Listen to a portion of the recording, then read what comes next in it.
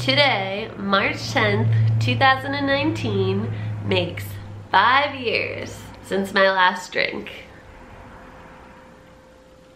Alcoholic drink.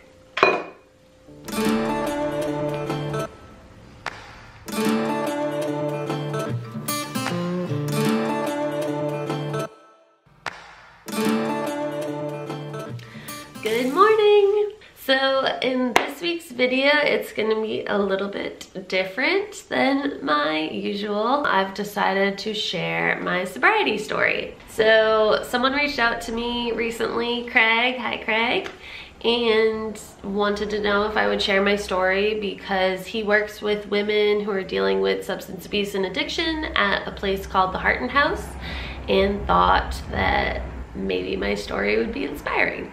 So, where today is actually my celebration of five years, that was 10, five years, since my last drink, I thought it would be the perfect opportunity to share. So, I'm gonna try to do like the quick version of the story. I'm 30 years old and there has been a lot that has happened in my 30 years that relate to drinking, uh, but I'm gonna try to keep it short. If there's, you know, a lot of interest, then maybe I could share more in the future. But let's see. I've been pretty open to this point about the fact that I am sober, but I haven't really shared anything about my story. So I'll be honest with you, I feel a little bit vulnerable at this moment.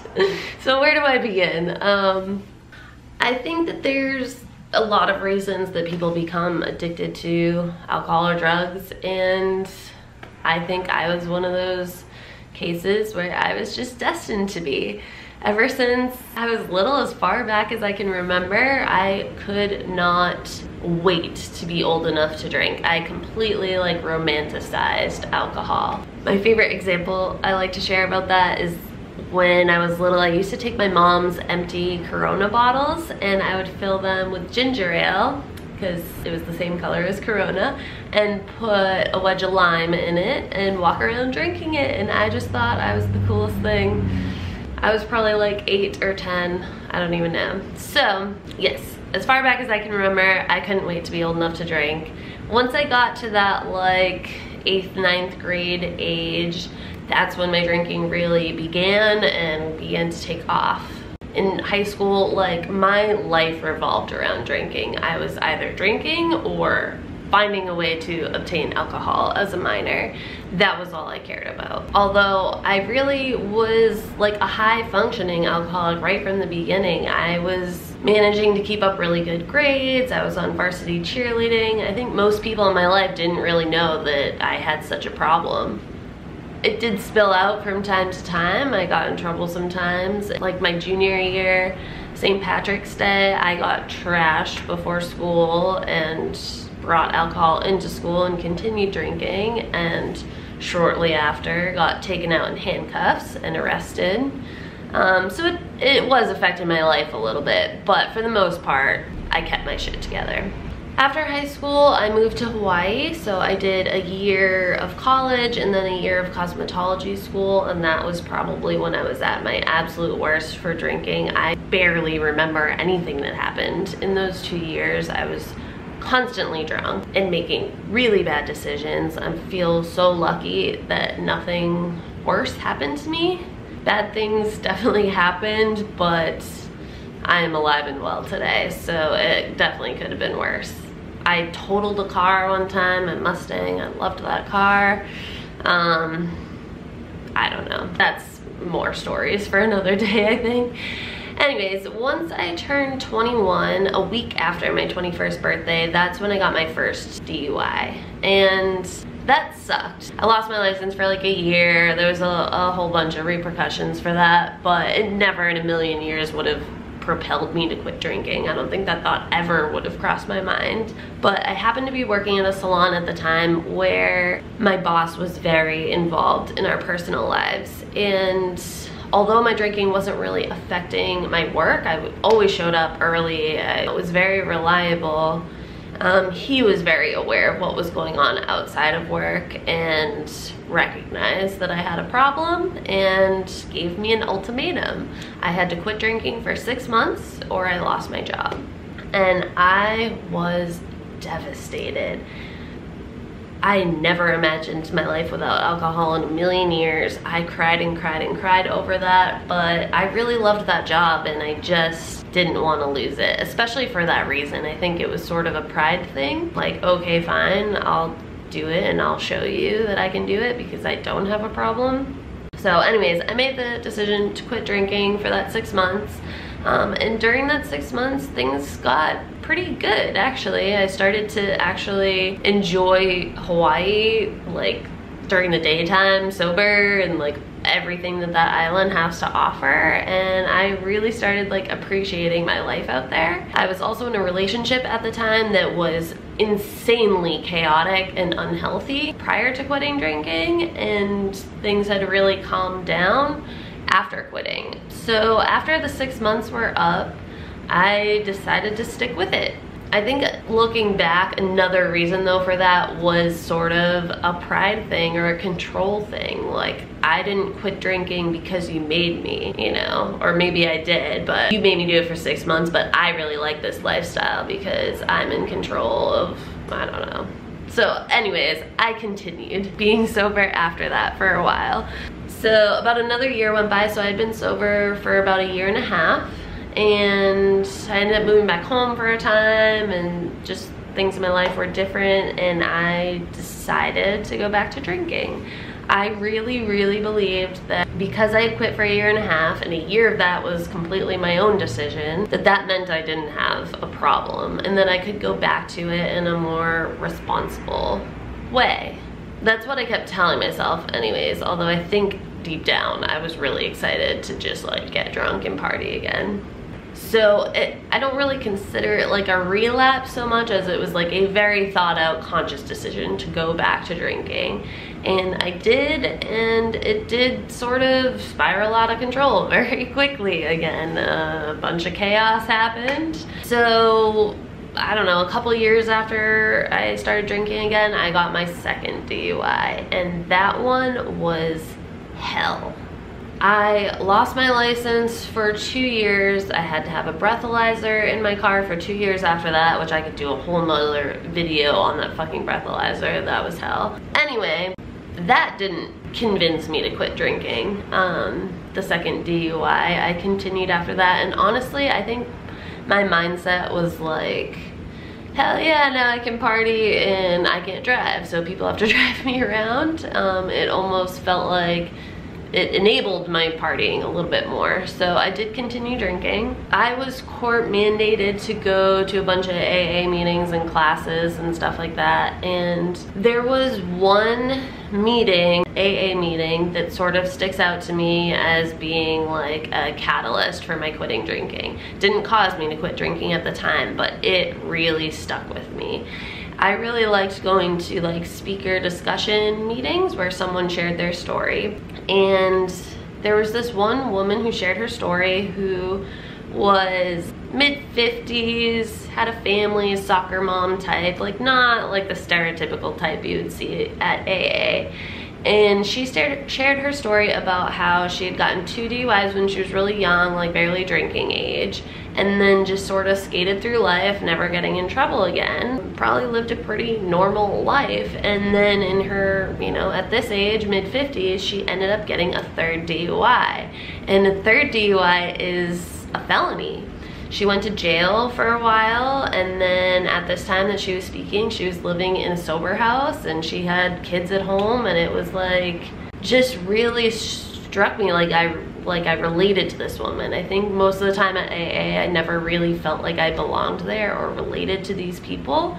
Um, but this woman, I could sort of see myself as her. I had gotten two DUIs when I was pretty young.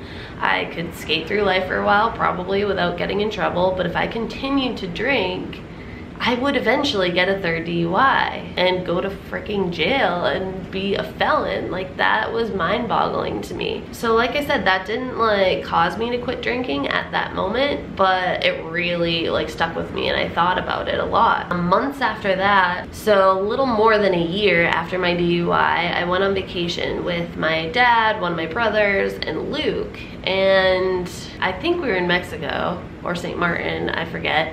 And I was hammered that whole vacation. Like there was no point in going there and spending the money if I was just gonna be blacked out the whole time. The only bits of it that I remember, I was just hungover and felt like shit anyway, so it was stupid. But during that vacation, Luke and I, I guess, got into a little argument one night and woke up the next morning and he had a black eye. And that was like a wake up call for me. I'm not an abusive type and I just kept thinking about him going home and seeing his family and what if he still had this black eye and I was just like distraught over it. So I, they, he didn't have black eye when he got home and I don't think his family knew, although now, hi guys, they're gonna know from this video. But anyways, got home and March 10th, five years ago, whatever year that was, the day I got home, that was the day that I quit drinking. After I quit drinking, it was different the second time around. It was 100% my decision. And also the first time around, I think I always wondered if I could go back to it. Um, this time around, it's been different because I know what will happen if I go back to it. So it felt like a, a permanent decision this second time. It was hard at first. Luke didn't quit drinking, so I was sort of on my own and I'm not a very social person, so I didn't really know what to do with myself. I didn't want to be around people or talk to anybody, and I just sort of threw myself into work, and that was all that I had. The next winter, I ended up going snowboarding for the first time, which to me was random. I'd lived in New England most of my life and never been, but I think in hindsight now I realize like I was bored. I had too much time on my hands, something was missing. I needed to, I don't know, do something, explore, adventure. Like I needed some things to fulfill my life. And so I tried snowboarding and really loved it. The next summer, I ended up going skydiving for the first time, which was something that Luke had always wanted to do. Um, so we went for his birthday and I did a tandem jump with him and, or not with him, with an instructor, um, but we both went. And that was like a life-changing experience for me. I immediately was obsessed. I loved it so much. I didn't know what it was that I loved about it, but it was like the best thing that I had ever done in my entire life. So I ended up going back two weeks later to the same place and doing another tandem jump because I sort of had decided, okay, I wanna make this my entire life now and get licensed and all this shit.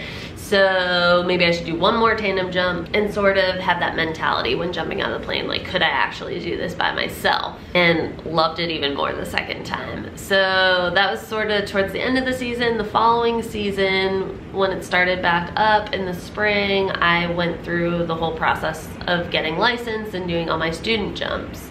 It became like an obsessive kind of hobby of mine for that time and I I think it was like a serious like substitute for drinking. One of the major things that I could come up with that related was like I'm a very stressed out, anxious type A personality. So drinking always sort of allowed me to let go of the stressors in my life and relax and enjoy myself.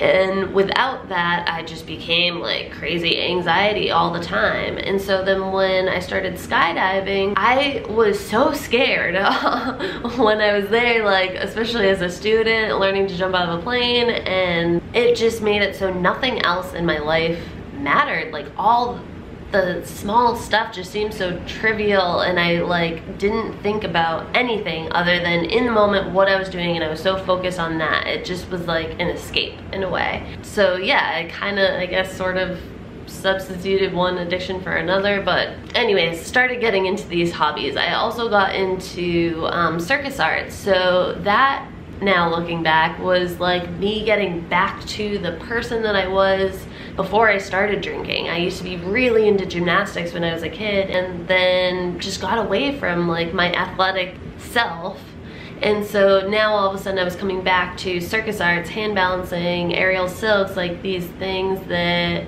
I just felt really passionate about and made me feel good. So all these hobbies started happening and it wasn't like a conscious decision at the time, like, oh, I'm sober and I need to do something else, but it just sort of looking back, like that's how it happened probably the next year after I got my skydiving license is when I went on my first like couple of real hikes. I'd been on a few smaller ones in the past, but didn't really know anything about hiking. So sort of fell in with someone who took me on a hike. I went, um, Mount Washington was my first real hike and I was gonna say I loved that, but I, I did and I didn't. Hiking, I have a different passion for. Like, when I'm doing it, I don't really love it. It's a lot of work but it's that feeling of like having a goal and accomplishing something I sort of am addicted to. So in New Hampshire, we have like the 48 4,000 footers. I started checking some of those off my list and I really like just got into the hiking thing during that time is when I learned of the AT, I think, for the first time and had never heard of it before. So immediately started researching it, like, holy shit, people like hike this whole trail for six months. How is that even possible? Who can do that? Like, and then I was like, you know, I need to know if I can do that. I sort of, I think through skydiving and everything else, started feeling like I could do anything that I wanted. And so even though I had no experience with backpacking or whatever, I was just like, I can do this. So I became obsessed with that, researching, buying gear, hiking a lot. I was fucking hell-bent that I was doing it and I went down and did it. So I didn't really give a whole lot of thought about how I was gonna end this or wrap it up, but I just, um, I guess my message is that I am so, so grateful for the life that I live now. And I owe it all to not drinking. I mean, like I said, it wasn't conscious things that I decided to do because of not drinking, but looking back, all of these things happened because I am sober. I didn't even mention my business, so I had always wanted to own my own salon. I opened my own business and all of these things just started falling together after I quit drinking. It wasn't immediate, you know, most people, once you quit drinking, like your life is kind of in shambles. It definitely takes some time to like put everything back together. And so it's not immediate, you need to give it time, but like life, my life has gotten so, so much better in my sobriety and I can't imagine ever, ever, ever giving that up. I could not live this lifestyle that I live now if I were still drinking. I have more energy, I have more money, I have more motivation, I'm happier. I just, I just am so, so, so lucky. So the point of this video isn't to convince people to quit drinking. I mean, I know that's unrealistic and it's such a huge part of our society and our culture and that this isn't gonna resonate with a lot of people. There was no talking me into it. But I guess what I'm hoping to get across is if if you are wanting to quit, stick with it. It takes some time, but life really truly gets so much better and there is so much stuff to do in this world like like I don't even know now that I'm done the AT I don't even know what I want to do next because I have so many things that I want to do places I want to travel to. I want to get into rock climbing. There's there's so many things that I am almost paralyzed at the moment like what direction do I go in next? But that's how I feel. I feel excited about life all the time. So yeah that is my story. I also want to mention I poor Luke gets the shaft sometimes. Luke quit drinking a year and, and like four months ago now. So he's doing amazing. He's loving his life now too. And he could not be told what to do. There was no way in hell I could ever convince that kid to quit drinking. He didn't see himself as having a problem, but he decided on his own one day too, and we are in such a good place now. I feel so lucky to like have a partner in this with me. So, congratulations to Luke on almost a year and a half. Congratulations to me on five years. And I feel like I'm not supposed to say I'm gonna do this forever because one day at a time, right? But I'm fucking doing this forever, definitely. So, if any of you have any questions about anything, I'm, you know, I'm a pretty open book and willing to share anything about my story, um, or I would love to hear your stories of your sobriety or anything related. Thank you guys for watching and I will see you on the next video, which will hopefully be more entertaining than me just talking to the camera.